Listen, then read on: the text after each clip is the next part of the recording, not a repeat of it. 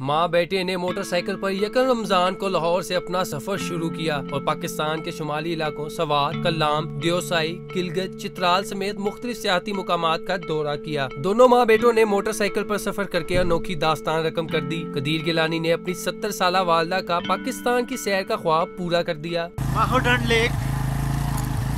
Right now we are at uh, We are crossing Multitan.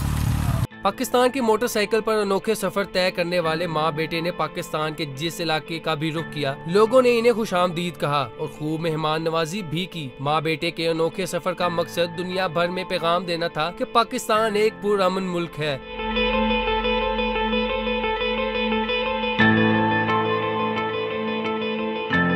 Lahore واپسی پر لاہور رنگ سے گفتگو کرتے ہوئے قدیر گیلانی کا کہنا تھا کہ سفر میں کسی مشکل کا سامنا نہیں کرنا پڑا، جہاں بھی گئے لوگ بہت ملنسار اور مہمان نواز تھے۔ ہم پہلی رمضان سے تھرٹی ٹوینٹی فور تک ٹور کر چکے ہیں۔ وہاں کے لوگ، جو خوشائن بات ہے، بہت ملنسار اور مہمان نواز لوگ ہیں۔ جہاں بھی گئے ہم، کمراٹ ویلی میں، کالام میں، یاسین ویلی، گلگت بلتستان اور مانسیرا میں، جہاں گئے ہیں لوگوں نے ہمیں ویلکم کیا والدہ کبرا بی بی کا کہنا تھا کہ سفر میں کسی مشکل کا سامنا نہیں رہا اور لوگوں سے محبت ہی ملی۔ وہ لوگ بہت اچھے تھے نام تو مجھے جگہ کہنی آتے ہیں۔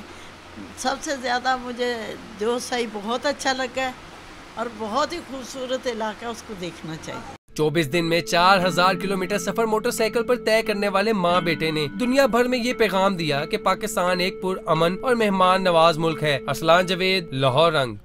زبردست ٹھنڈا موسم ہے ہم اسے انجوائے کر رہے ہیں کیوں ماں تسی انجوائے کر رہے ہو انجوائے کر رہے ہیں بہت مزہ آ رہا ہے مزہ آ رہا ہے پھر بہت مزہ آ رہا ہے